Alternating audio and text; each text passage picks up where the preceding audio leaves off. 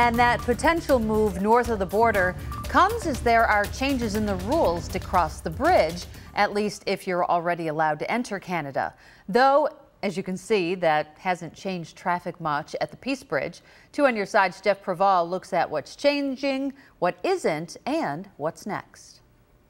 75%. That's the number of eligible Canadians that Canada wants to get fully vaccinated before there's a big easing of restrictions at the border. So, where do they stand now? According to the country's vaccine tracker, 40% of Canadians 12 years old and older are fully vaccinated. 78% have received at least one dose. And I'll tell you, our second vaccines are moving very aggressively. Niagara Falls, Ontario Mayor Jim Diodati is hopeful there will be more border restrictions lifted later this month. So the projected date is July the 21st from the federal government.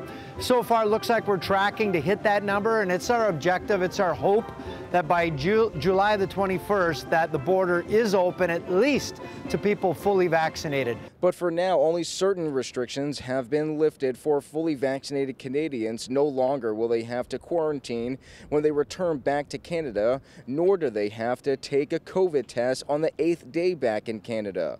They still have to get a COVID test before going back.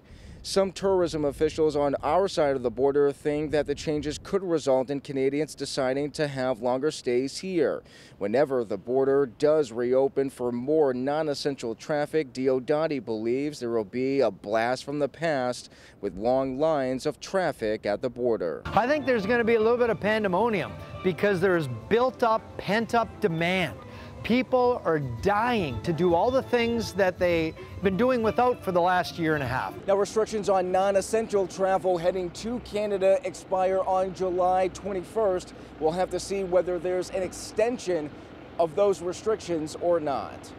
In Niagara Falls, outside the Rainbow Bridge, I'm Jeff Preval, Channel 2 News.